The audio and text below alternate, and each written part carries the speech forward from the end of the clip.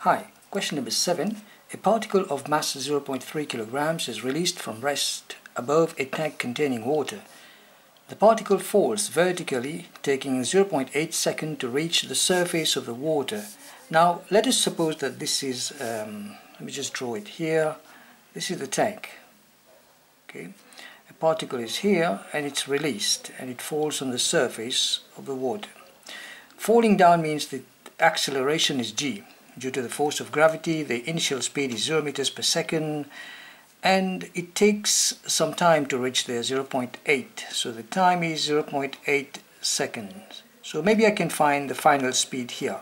I can use v is equal to uh, u plus at, the equation for, of motion.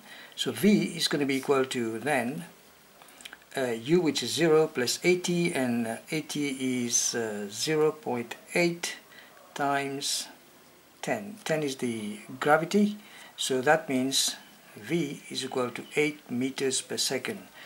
So at that point here, it is 8 meters per second. Now, let us take a look. There is no instantaneous change of speed when the particle enters the water. The depth of water in the tank is 1.25 meters. So this is the depth of water. It is 1.25 meters. Okay, and the water exerts a force uh, on the particle resisting its motion.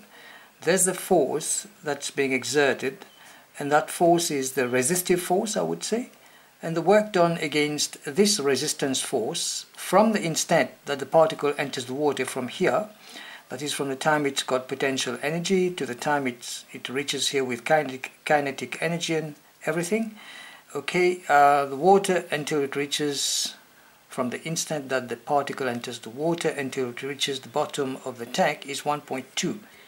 So work done against resistive force is 1.2 joules. And then we are supposed to use an energy method to find the speed of the particle when it reaches the bottom of the tank. So we want to find V here at the bottom here. Now let us look at the total mechanical energy we're losing energy here because there's P here and goes down. So and then there's a force acting against it. So I'm going to say the total mechanical energy is the potential energy plus the kinetic energy. And because these energies they are it's losing those energies falling down it's going to be equal to the work force done I mean the work done against the resistive force so what's the potential energy? It is mgh, alright? So I'm going to say mgh plus half mv square, I mean, uh, yeah, v square, I mean u square I would say, minus v square, alright? And all of that should be equal to the resistive force, so the work done against the resistive force. So basically we're saying 0. Uh, 3 times 10 times h which is 1.25 plus 0.5 here times uh, 0.3 okay and then you've got the u square which is now at that point here u is equal to 8 meters per second the initial speed before it starts going under the, under the water. Alright so this is then uh, 8 okay to the square minus the v square that we are supposed to find and then all of that is equal to the total uh, the work done against the resistive force alright so let's do that on our calculator. So 0.3 times 10 times uh, 1.25 we're getting 3.75 okay plus 0.3 times 0.5 and that should give give us uh, 0.15 and 0.15 into 64 take away v square and all of that should be equal to 1.2 we're almost done. So we're going to say 64 minus v square is equal to 1.2 take away 3.75 and all of that divided by 0.15 let's do the right hand side. So 1.2 take away uh, 3.75 okay and then you divide all of that by 0.15 minus 17 so what I'm saying is that minus v square is equal to minus, uh, 17 and then take it with the 64 and we should be able to get minus 81 so minus v square is equal to minus 81 and this and this can go.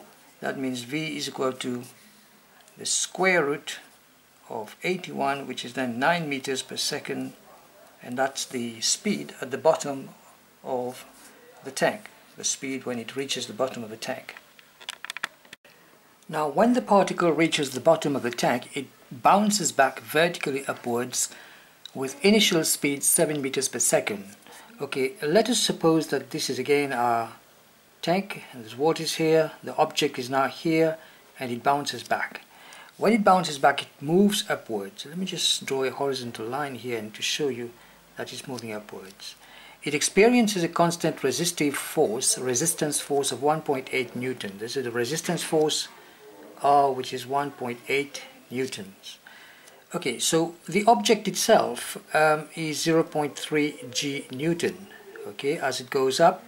And we know that G is equal to negative A because acceleration is now down, I mean, the object is going upwards, so acceleration will be negative uh, because the force acceleration due to gravity is pulling it down. And also if we look carefully we've got alright okay it's going up it's going down acceleration is now a negative so what is um, the the force acting on the object? So we've got the force itself which is 0.3 g newton. Okay minus the resistive force and because acceleration is, is negative so this is going to be negative minus the resistive force you get the net force which is mass time, times acceleration. Net force it is mass times acceleration and 0.3 times a in other words we're saying that if we try to solve this this is going to become 3 I mean minus 3 minus 1.8 is equal to 0.3 a so a is going to be equal to minus 4.8 divided by 0.3 which is then minus 16 meters per second square. So it's quite obvious that it's decelerating. Okay, now that we've got the acceleration, what can we do, I mean, from here? We know that the distance here is 1.25 meters. So one of the equations that we use is S is equal to ut plus half at squared.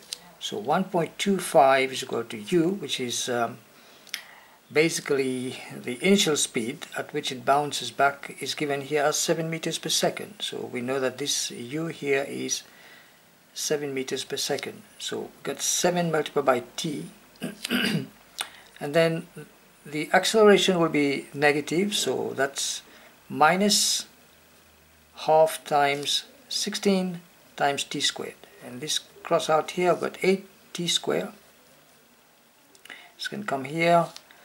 Okay minus, uh, 7t okay plus 1.25 is equal to 0 now if you were to solve this quadratically you will be able to get some answers but we can do it on a calculator I mean even if you're not allowed to use this calculator in the exams what you can do you can use formula to solve the question. I mean to solve the, the quadratic I mean the equation. So I mean for the sake of making this video short here I'm just going to plug in some values. And then I'm going to see what happens. And so we've got 1 over 4 okay and then 5 over 8 so the time takes to go upward is there's 5 over 8 and there's 1 over 4 obviously this is greater now is it, is it greater? Yes, it is greater time. it takes more time to come down because when it's going up the speed is still high. When it goes down the speed is, uh, is less so it takes more time to go upwards. What we're trying to say is that the time to go upward is one quarter. Alright, so that's time is equal to 0.25 seconds. Okay, now from here, what can we do further? when the object reaches the surface here what's the speed here what is v so we can use um, v is equal to let's push this up a little bit here so v is equal to u plus at and we know that um, v is going to be then equal to 7 plus a which is minus 16 times t which is a quarter. So 4 in 4 1 in this 4 plus minus becomes minus. We've got 3 meters per second. At the surface the water I mean the speed at the surface here is 3 meters per second remember this is the surface of the water and now the object is going to go down now it bounces on the bottom of the tank and the particle comes to instantaneous rest t seconds after it bounces on the bottom of the tank. So V is equal to then 0. At this point V is equal to 0. We know that U now, which is 3 meters per second, obviously this was V first, okay, V is 3 meters per second, but now because it's going, coming down, this is the initial speed. Okay, so how much time does it take to come down? That's what I'm trying to find out. The time to go up is this much seconds, quarter of a second. The time to come down, again I'm going to use v is equal to u plus at. So what is v? Alright, v 0 is equal to u, which is then, uh, this time it is 3 meters per second, okay, minus a times t. And a is, uh, basically we're saying gt, alright? So we're saying then 3 is equal to um, over g is equal to t.